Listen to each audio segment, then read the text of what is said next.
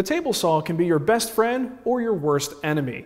Now, it's one of the most versatile tools in the shop, and I use mine on every single project. But it's important to understand that this much power and the physics of what's happening here can be very dangerous if you don't take the proper precautions. Now, one of the most common things that can happen on a table saw is kickback, and that's when a workpiece makes contact with the back of the blade and basically rockets right back at you. And if you're standing in the path and you're in that line of fire, you're in trouble.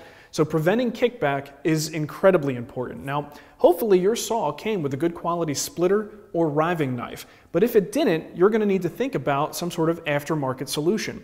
Uh, a lot of us buy our saws used, and sometimes those guards that come with the saws get thrown on the side and never seen again. So it's important that you have some sort of aftermarket splitter in place to prevent kickbacks from occurring.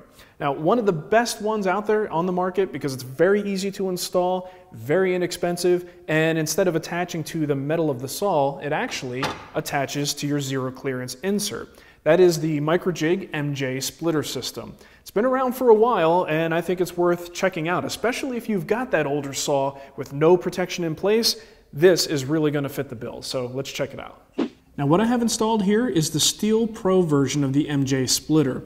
It has a stainless steel body surrounded by this polycarbonate plastic layer on the outside. Very durable stuff. And the idea, as you can see, is it's right in alignment with the blade.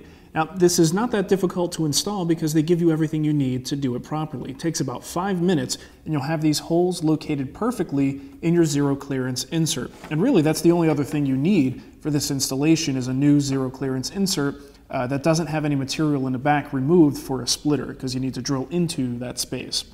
All right, so obviously this is serving the purpose of keeping your workpiece separated as it goes through so that the, uh, if these do decide to bend in and pinch, they're not going to make contact with the blade because the two splitters are blocking them from doing that. But there's a lot more nuance to what Microjig came up with here that I think you're really going to enjoy. So let's take a closer look at some of that functionality. Now, when you first look at this setup, you might be wondering why we would want two splitters in a row. Well, this kind of has to do with blade thicknesses. Uh, different manufacturers have blade thicknesses that are slightly different, so they can't necessarily make these things uh, exactly the same thickness as the blade, because in some cases it might be too thick, it might be too thin.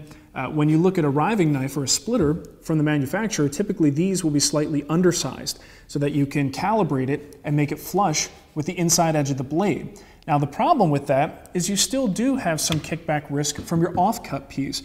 Granted, the most dangerous part is, is the part that's between the blade and the fence, so we have to cover that. But this piece can also be an issue too. So what they've done by putting two splitters one behind the other is they've allowed us to protect ourselves from both pieces because they're slightly offset. This guy, the first one, its job is to keep the keeper workpiece, the piece that's between the blade and the fence, to keep that away from the blade, and the rear one is slightly offset this way to keep the offcut away from the blade.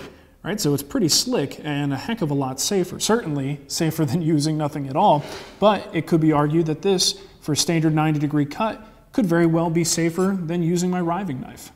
Now you're probably familiar with a traditional featherboard. This one happens to be magnetic, so it's great for a cast iron surface like this, but the idea is for it to create a little bit of a spring pressure so it holds the workpiece against the fence.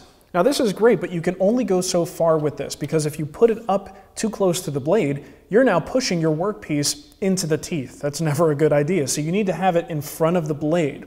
The other thing is, at the end of the cut, wouldn't it be great if we had a little bit of pressure over here. I mean, there's times when I'm pushing a workpiece through that I am very tempted to bring my left hand around and push that piece against the fence, which is very dangerous to do. So, one very cool feature here is what they call their mini featherboard effect.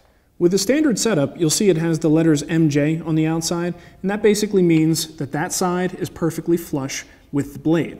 Now, if you want to create this mini featherboard effect, you can actually flip the piece over or use one of the other splitters that has the plus sign on it. So the plus sign means that this side has actually got more material here. In fact, it's 3 thousandths of an inch. So if I put that plus side facing the fence, I now know that this is going to be pushing outward a little bit by 3 thousandths. So when the workpiece comes through, as it clears the blade and starts to make contact with the splitter, it's going to actually just slightly push it into the fence, creating a mini featherboard effect. Now the cool thing is, depending on your setup and, and how much pressure you want, maybe the type of wood that you're working with and how much of a tendency it has to bow, you can use the different settings here. Right, this one has three plus signs, so that's going to be a total of nine thousandths. Right, and you could really fine tune it this way for the absolute safest and most secure cut. Now, I've known about the MJ splitter for quite some time, but one feature that I wasn't aware of and I was glad to find out about is what they call their kerf keeper. So instead of having your double splitter set up, you actually have a slightly different splitter in the back, and this one fits fairly loosely into the holes. In fact, it's a slightly different installation. Uh, so when you install this, you would probably want a second zero clearance insert for this setup. All right, so the kerf keeper is a solid plastic piece that sits in the back fairly loosely so that if a workpiece comes through, and think in terms of like a long piece of solid wood that just naturally seems to want to bow in on itself, if it pinches this with enough pressure, it will lift it out and you'll see it move. So now we have a visible warning sign telling us trouble. This means trouble. And you may want to stop the saw and rethink this particular cut because your pieces are bowing in severely. The second thing is if these pieces are coming together, they now have a piece of plastic here that will stop that kerf from closing up, right? And as that kerf closes up, that's actually what's creating our kickback risk. All right, so the Kerf Keeper is a really nice safety addition, especially if you're doing those really long solid wood rips. Now, perhaps one of the coolest features of the MJ splitter is the price. You're not spending hundreds of bucks to get something like this installed on your saw. It's $35. So all you really need is that zero clearance insert, the $35 kit for the Steel Pro system, and you've got yourself a significantly safer saw with lots of cool little features to go with it. So definitely worth checking out. Now, Microjig wants you to know that if you sign up for their newsletter, go over to their website, you can actually get a free plan. It's a PDF download for an interchangeable zero clearance insert where you could pop in um, replacement pieces, which is great because sometimes you know you'll do like a 45 degree bevel. Well, you don't want to use your 90 degree kerf cut for that. You want to have a different one. So it's nice to have multiple zero clearance inserts. And especially if you get into the micro jig setup here, you're going to want one setup for the kerf keeper and one setup with the standard double splitter. So you have the best of both worlds that way, but you need a couple of zero clearance inserts to do it. So head on over to their site, sign up for the newsletter, and that plan is yours. So as always, stay safe in the workshops, know your tools, uh, read the instruction manuals, wear glasses, all that crap. Thanks for watching.